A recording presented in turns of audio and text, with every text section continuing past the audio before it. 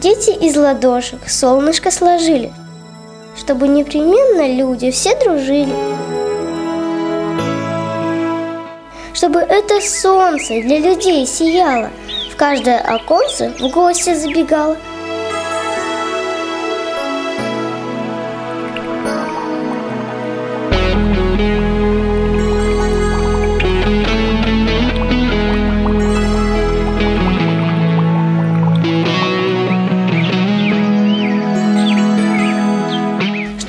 Было много у детей игрушек, чтобы не стреляли взрослые из пушек, чтобы прекратились войны все на свете, чтобы улыбались, а не гибли дети.